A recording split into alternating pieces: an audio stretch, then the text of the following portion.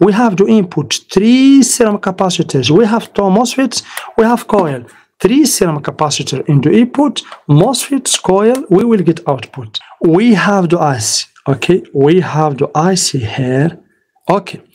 So this IC will generate, basically we have the coil and here we will get 3.3 volt. Here we will get 3.3 volts always, okay?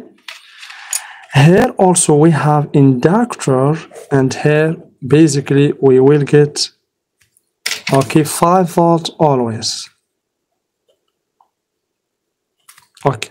We have inductor here let's see L1 L2 and that after that of course let's deal first with the output. In the output we have you can find ceramic capacitor we can find an electrolytic capacitor connected to the ground here.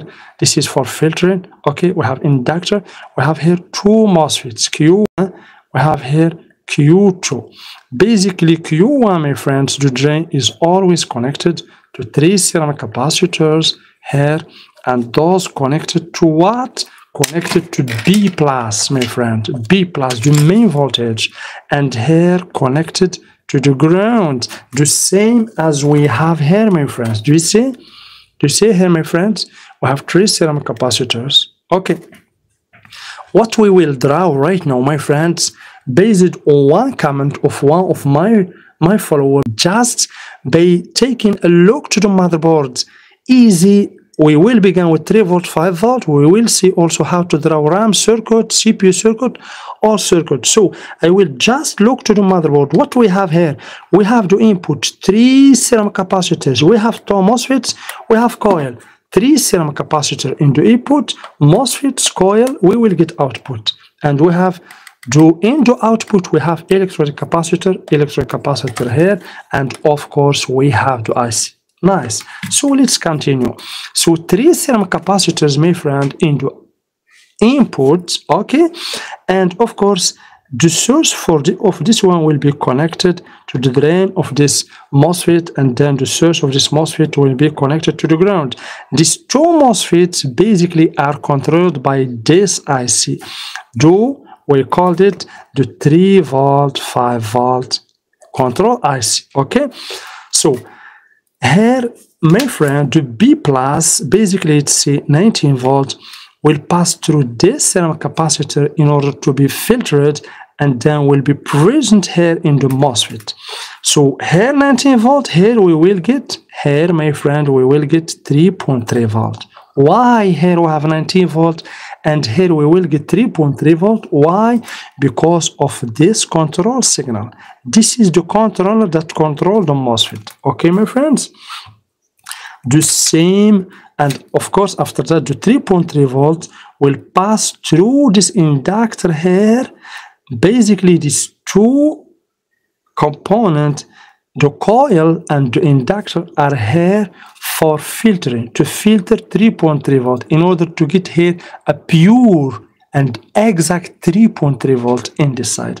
The same my friends the same for 5 volt circuit. We have the IC we have two MOSFETs or two switches basically so Q1 Q2 Q3 and Q4 the drain also will be connected to three ceramic capacitors. As you can see three ceramic capacitors connected to the ground. Here of course here we have b plus the same input basically my friends 19 volts. And these two b plus my friends coming from where? Coming from do you do you remember when i told you that we have two switches into input and then we have the current sense resistor or csr current sense resistor and here we will get B plus and I told you that this B plus will be distributed to all circuits. Yes, this is it my friend, distributed to all circuits. Okay, so this B plus, if for example in the 3 volt 5 volt circuit you didn't find here B plus 19 volt, you should go here and check current is, is it good or not, check the MOSFETs until the adapter or the power jack. Okay, nice. So the source of this one, my friend, will be connected to the drain of this MOSFET and then the source of this MOSFET will be connected to the ground. The two MOSFETs also are controlled by the charge IC. So the same 19 volt, my friends, will pass through the ceramic capacitors to be filtered and then will be present here, will be applied to this MOSFET. We will get here 5 volt. Why? My friends, here we have 19 volt, here we get 5 volt. Why? How this is happen because of the IC, because of this control signal. Here, for example, we have water, a lot of water. Enter here, a lot of water. Water, my friends. Okay? But here, we get just a little bit water here. So here, this lot of water is 19 volts. Here, basically, this is the gate. And here we will get 3.3 volt. Okay? We have 19 volts, the same 19 volts. We get here 3.3 volt because we use this gate here. This is the gate. If we turn one a little bit, we will get 5 volt. If we made another turn, we will get 8 volt, for example. Another turn, we will get 12 volt. If we turn it until maximum, we will get 19 volts. Okay, this 19 volt will be also here, but just a little bit, we get 3.3 volt. This same working principle uh, used with 3.3 volt IC.